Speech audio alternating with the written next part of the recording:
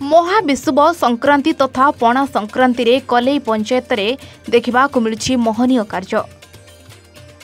କଲେଇ ପଞ୍ଚାୟତର ସରପଞ୍ଚ ନିରଞ୍ଜନ ମଲ୍ଲିକ ଓ ଯୁବନେତା ତଥା ସମାଜସେବୀ ତାପସ ରାୟଙ୍କ ତତ୍ତ୍ୱାବଧାନରେ ଏକ ଜଳଛତ୍ର ଚୁନିଦା ବଜାର ନିକଟସ୍ଥ ମହାସଂଘ ଗ୍ରୁପ୍ ପାର୍ଶ୍ୱରେ ସାତ ଭଉଣୀ ଚୂଡ଼ାକୁଟି ରାସ୍ତା ପାର୍ଶ୍ୱରେ ଅନୁଷ୍ଠିତ ହୋଇଯାଇଛି। ଏହି ଜଳଛତ୍ରଟି ଭଦ୍ରକ ବ୍ଲକ ପୂର୍ବତନ ଉପାଧ୍ୟକ୍ଷା ଜ୍ୟୋତ୍ସ୍ନା ମଞ୍ଜରୀ ରାଉତ ଉଦ୍ଘାଟନ କରିଥିବା ବେଳେ ଏହି ମହନୀୟ କାର୍ଯ୍ୟ ଗ୍ରୀଷ୍ମ ଦାଉରୁ ରକ୍ଷା ପାଇବା ତଥା ଅଂଶୁଘାତରୁ ରକ୍ଷା ପାଇବା ନିମନ୍ତେ ଆୟୋଜନ କରାଯାଇଛି ବୋଲି କହିଛନ୍ତି ସରପଞ୍ଚ ନିରଞ୍ଜନ ମଲ୍ଲିକ। ଏହି ଜଳଛତ୍ର ଏକ ମାସ ଧରି ଚାଲିବା ସହ ରାସ୍ତାରେ ଯାଉଥିବା ବାଟୋଇଙ୍କ ସହ ପଞ୍ଚାୟତବାସୀ ମଧ୍ୟ ଉପକୃତ ହେବେ।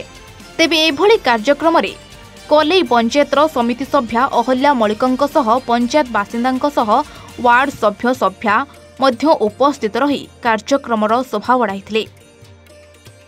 ଆଜି ପଣା ସଂକ୍ରାନ୍ତି ଉପଲକ୍ଷେ ପଞ୍ଚାୟତବାସୀଙ୍କ ସହ ବାଟୋଇଙ୍କୁ ପଣା ବଣ୍ଟନ ମଧ୍ୟ କରାଯାଇଥିଲା। ନିରଞ୍ଜନ ମଲ୍ଲିକ ସରପଞ୍ଚ କଲେଇ ଗ୍ରାମ ପଞ୍ଚାୟତ। ଏହି ଜଳଛତ୍ର କାର୍ଯ୍ୟକ୍ରମ ପଞ୍ଚାୟତ ତରଫରୁ କରାହେଉଛି। ଏହା ଗୋଟେ ମାସ ଧରି ଚାଲିବ କିମ୍ବା ଗ୍ରୀଷ୍ମର ଅବକାଶ ପର୍ଯ୍ୟନ୍ତ ଚାଲିବ।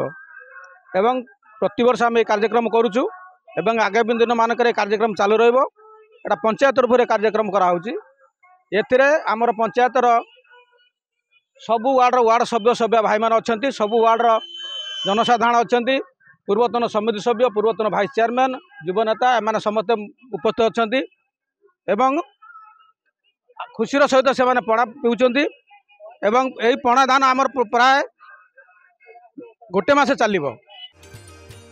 ଭଦ୍ରକରୁ ସୁବ୍ରକାନ୍ତ ରାଉତରାୟଙ୍କ ରିପୋର୍ଟ ଏଇବାନ ଓଡ଼ିଶା।